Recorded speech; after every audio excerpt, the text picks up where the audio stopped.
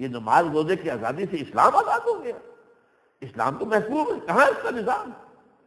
ये पूरा बैंकिंग का निज़ाम छाया हुआ है, जिस पर कि अल्लाह उसके रसूल की तरफ़ ऐलान है तो इसलिए हम समझते इस्लाम है।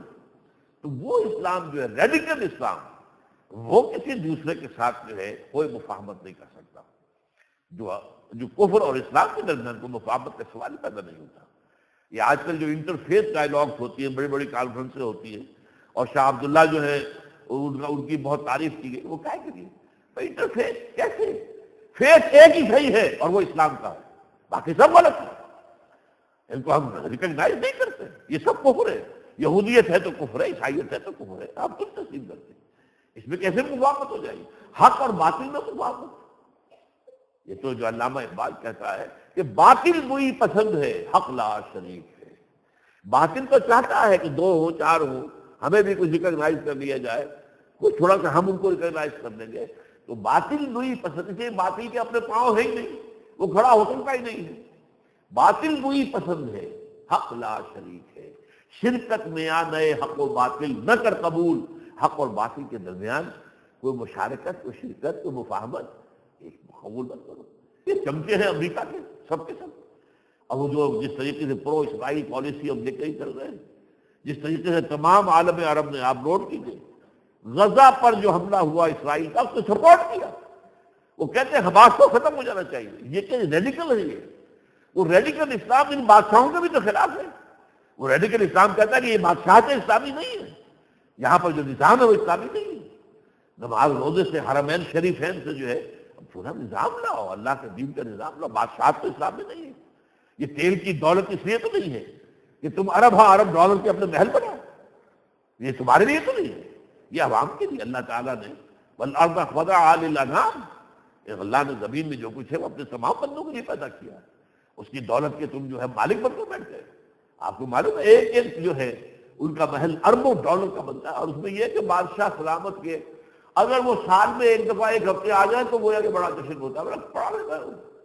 और वहाँ पर फौज की फौज मुलाजमीन की बरकरार रहती ये निज़ाम इस्लामी तो नहीं इस एतबार से ये रेडिकल इस्लाम, मुझे याद आ रहा आज से तीस साल पहले, यही न्यूज़ वीक जब ईरानी इनकलाब आया था तो इसका जो था, उस पर जो बोटा लिखा हुआ था यहाँ the militant Islam on the march ये जो जारहाना इस्लाम है, अब ये आ गया है बढ़ रहा है। जारहियत मिलिटेंट अस्करी इस्लाम। अब इसने जो है, निज़ाम जो है तलपट कर दिया, बादशाह का उलट दिया वो अपनी जो है उलमा की हुकूमत कायम कर दी। उस वक्त लोगों के अंदर बड़ी ये हो गई थी, उमंगे और बड़ी जो है वो उम्मीदें कि बस गया कि अब तो इस्लाम का गलबा हो जाएगा। मैंने तकरीर की थी उन्नीस सौ अस्सी में, जो नियाग्रा फॉल्स पर अमेरिका के अंदर। वहाँ आई एम ए का एनुअल सेशन था। Islamic medical association of North America मैंने कहा नहीं, अभी बहुत बड़े बड़े सख्तियाँ मुसलमानों पर आने वाली अभी बहुत बड़े इम्तहान से गुजरना होगा। ये जो मलाहिम आने वाले हैं, जिनका मैंने आपको ज़िक्र कर दिया, इसमें अव्वलीन जो हदफ बनेगा आजाब इलाही का, वो उम्मीन होंगे। अरब! क्यों? पहले मैं इशारा कर चुका हूँ। उन्हें अल्लाह ने खास मकाम दिया। उनमें से थे अरब थे मोहम्मद सल्लल्लाहु अलैहि वसल्लम। मोहम्मद अरबी, हाशमी, थे कि नहीं थे? करसी, थे कि नहीं? और उनकी जबान में अल्लाह का कलाम मौजूद है। फिर भी अगर उन्होंने उसे अपना इमाम नहीं बनाया तो उनसे बड़ा मुजरिम कोई है? वो नंबर एक है हिट लिस्ट पर अल्लाह ताला और उन पर हाकम बदहन हाकम बदहन जो देखता हूँ, वो दिखा रहा हूँ आपको। वो जो है, इकबाल जो कहता है, आँख जो कुछ देखती है लब पे आ सकता नहीं। लेकिन ये कि मैं आपको बता रहा हूँ hollow cost multiplied by ten अजाब जो है अरबों पर आने वाला उनके गुलछर्रे जो आप देख रहे हैं, उनकी अयाशिया जो आप देख रहे हैं, ये जो इमारत में बन रही दुबई के अंदर जरा अंदाज़ा कर सकते हैं आप? वो जो हदीस में आया था, कयामत की निशानियों में से, जब तुम देखोगे कि वो लोग जो नंगे पाँव होते थे, जूते में असर नहीं थे लिबास में असर नहीं था, भूखे होते थे चरवाहे थे, सिर्फ़ बकरियों के वो ऊँची ऊँची इमारतें बनाने में एक दूसरे का मुकाबला करेंगे। ये तताब फिल बुनियाद, ये हकीकत आज नज़र आ रही है आज से सौ साल पहले भी कोई सोच सकता था अरब के अंदर। वो तो जब जब फतह किया है इसने जो किंग अब्दुल अज़ीज़ इब्न सऊद था तो वो एक खेमे के अंदर जद्दे में एक खेमे में रहता था। कहाँ महल थे और कहाँ ही ये बिल्डिंगें थी? वो हिंदुस्तानी उलमा के वफद जाकर मिला है तो एक खेमे के अंदर मुलाकात हुई। बिल्कुल। इनके था क्या? बल्कि लतीफे की बात है। वो बादशाह यमन का आया था, हज पर। तो किंग अब्दुल अज़ीज़ क्या कहते हैं उनसे? वो लेके आया था लाओ, लश्कर साजो, सामान, अपना फर्नीचर, ये, वो, कालीन, वालीन। कहता, बादशाह, आप जाते हुए ये सारा सामान मुझे दे जाइएगा। ये। बात कही जब नवाब भावलपुर गए, उनसे भी कही। ये हाल था भूखे खाने को क्या था? खाने को कुर्बानी का गोश्त सुख सुखा कर खाते रहो, सारे साल बहरहाल, जो बात मैं कह रहा था, पूरे आलम में, इस्लाम में बेचैनी है। और कल में मुसलमान में है, आज वही इस्तेराब ये बात जो है, इसमें वो रेडिकल इस्लाम के रास्ता को रोक नहीं सकेगा। ये रेडिकल इस्लाम, ये बढ़ेगा।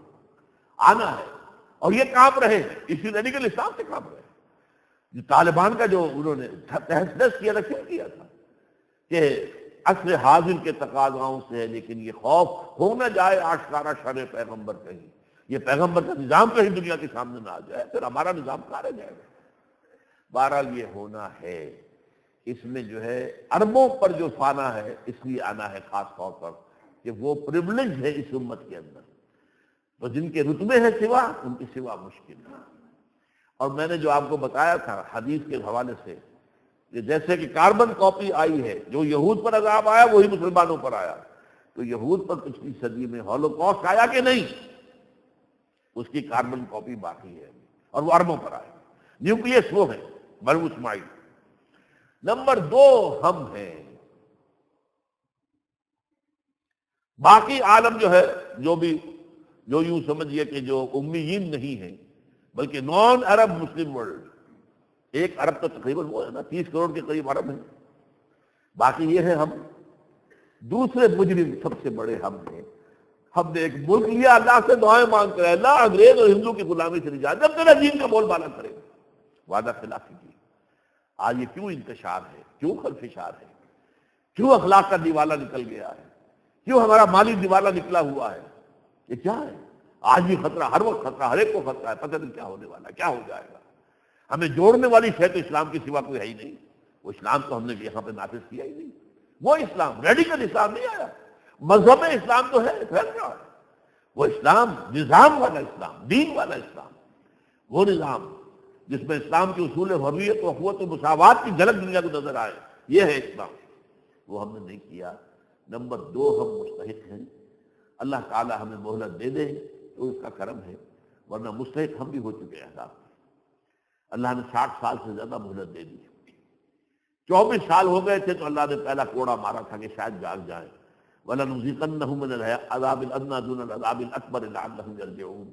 जो हमारी बदतरीन शिकस्त हुई थी अफाल और ढाका हुआ था। तिरानवे हज़ार हमारे कैदी उस हिंदू की कैद में गए थे, जिन पर हमने हुकूमत की थी कहीं आठ सौ बरस, कहीं एक हज़ार बरस, कहीं छह सौ बरस। वो सब हो सकता है कि और उससे बड़ा आज़ाद अकबर यहाँ भी आ जाए। अल्लाह आलम, में कह नहीं सकते। लेकिन ये कि ये है आने वाले दौर की एक तस्वीर। है अरबों के बारे में हजूर की हदीस मौजूद है। और वो है वैल अरब मिन शर्म का करब अरबों के लिए हलाकत है उस शर्त से जो करीब आ गया। ये करीबी की बात है क्या है? आप आप समझे, हज़ार बारह सौ साल, चौदह सौ साल, अल्लाह की जो है वो तकरीब में तो एक दिन, डेढ़ दिन बनता है, सवा दिन बनता है, अल्लाह तो हज़ार बरस का एक दिन है।